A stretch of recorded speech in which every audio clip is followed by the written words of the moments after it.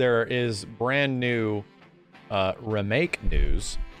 It's quite good. Pretty much the, the directors and creative leads of the game saying how Intermission directly leads towards uh, the sequel, Final Fantasy VII Remake Part 2. We already had a couple of big predictions on this when we were playing the game.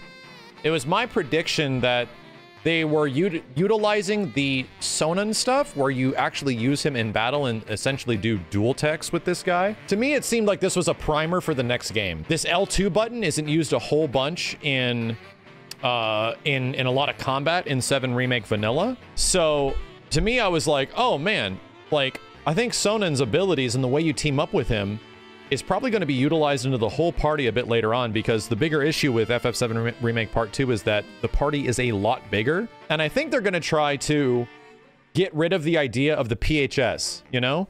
I think the PHS is kind of archaic. You're on your journey together, but a whole bunch of your other party members are just sitting along doing nothing, right? We have Cid and Cloud and Tifa doing their thing, but now Barret, Cait Sith, and Red 13 and Vincent are just sitting in a room or they're in a car somewhere. Like that's kind of the stuff that they have to tackle with 7 Remake Part 2 because like the whole cast has to be on this journey together. PHS was like a cell phone you had in the old game and you used the cell phone to call in your other party members to replace people in there. So now at this point, it's like, oh, so how do you alleviate that? Well, Clearly, you have to make it seem like everyone is on the journey together, especially in combat. You can have your main characters, but you can do Sonon type stuff where you can call in team attacks with other characters that are not being actively played on screen.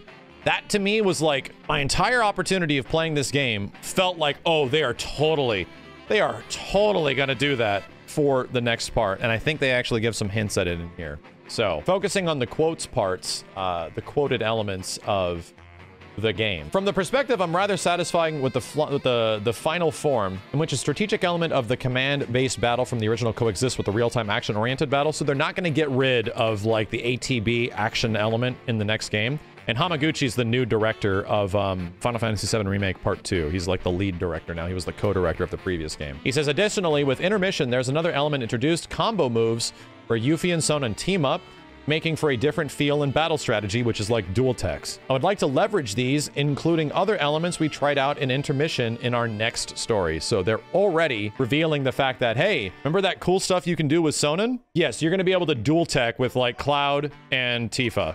You'll be able to dual tech with like Red 13 and Barret. That is what this is like alluring towards, in my opinion. Not just the not just like one character or something like that. To me, it seems like the whole party will team up with each other to do cool shit. And that sounds awesome. That sounds ridiculously cool because it was easily one of the best elements of the combat slash gameplay in Intermission. Talking about Advent Children characters being, and like Dirge of Cerberus characters being added into uh, Final Fantasy VII Remake. And he says that the world of Seven was vastly expanded through multiple works that followed the original game uh, from Toriyama. We do want to make a culmination of the FF7 related works created up to this point, and there are characters that I too did not know of, but this is the same with Cloud and company as well, that they don't know about it, so they have ways to reintroduce them. This makes sense with the way that they, they sort of tackled Weiss and Crisis Core characters and things like that in the main story. Like, acknowledging their existence without making them, like, really front and center. And I'm, I'm kind of okay with that, as long as, you know, Gackt isn't sitting right right off screen eating a dumb apple. And he says, for unfamiliar enemies like Weiss or Nero, I think being able to convey that they have this kind of deep darkness about them is plenty. Hey, nice, that's all you need. Toriyama said at the same time, those who are familiar with them can make a stronger connection to the overarching Seven world by having them appear in the narrative as they are in their respective source material. It's like they get it. It's like they absolute get it.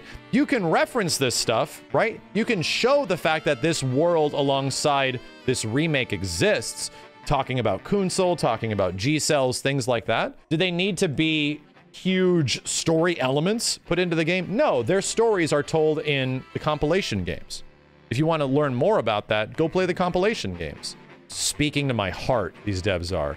It's insane it's absolutely insane how many opportunities the FF7 devs get to screw up this game. How many opportunities they have to absolutely fuck this shit up for for the first game, the DLC, and the future parts. But every single time you hear them like talk about certain things that seem really like, uh, so what are you gonna do about that? They either completely destroy it. They like they do it so well it's ridiculous or they handle it in a way that doesn't completely ignore those elements from previous games but just keeps them in perspective because that's not about their story anymore. This game is about obviously the FF7 main story. It's almost like they're taking my advice.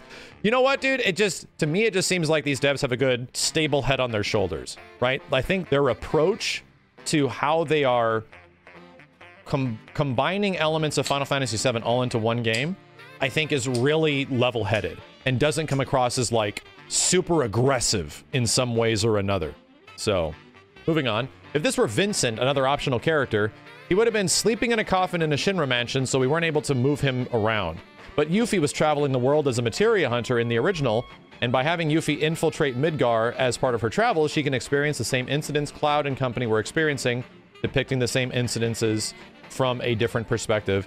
And to be honest, that makes sense because where's the first place that you run into Yuffie in the original game? As soon as you're out of like crystal caves, you start running through some forests, and then Yuffie's there.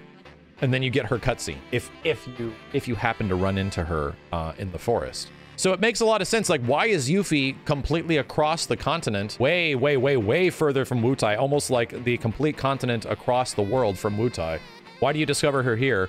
It's almost like the game's insinuating that she's already a spy and she's already, you know, putzing around this part of the world doing shit. Oh, that's a pretty good call. That uh, she was actually in Midgar when the plate fell and gets to see the insane travesty slash horror that is what Shinra's doing to people. Mentioning the fact that Yuffie's a cheerful, energetic young lady and she'll make an appearance after getting over the tragic experience in intermission.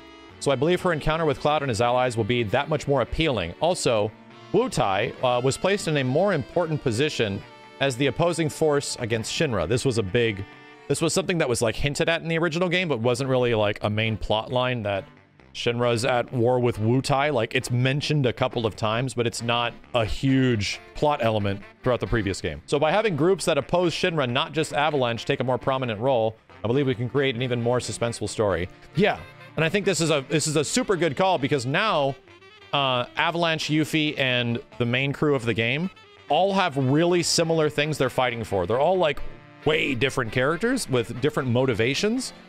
However, the way that Shinra has had an impact on the world and the planet and the people on the planet is substantial, and that's what the whole party is. The whole party is people that have been, like, absolutely screwed over by Shinra, and they're integrating that even more than before because it wasn't super clear in the original game that Yuffie was really affected by the events of what Shinra is doing, other than the fact that they were in a war with Shinra at some point, and that Wutai was turned into a a tourist site, right? It became like a tourist site, and she was pissed off about that. Well, she just loved materia. This just gives me more kind of confirmation that Hamaguchi, which is the new director of the game, was the previous co-director of Final Fantasy VII Remake Part 1, really gets it. I think this dude gets it. And so much to the point where a lot of his influence and a lot of his uh, direction from the previous uh, the previous game is starting to show. It makes me feel like he had a lot more to do with part one than possibly even Nomura did in some ways, as far as like execution and shit like that. So I don't know, man. It feels like a lot of the bigger higher ups at Square Enix right now have a really, especially the Final Fantasy teams, have a really good concept of what people want out of these future games and stuff like that. Yeah, he gets it and is getting it and is doing a lot with it that is pretty sick.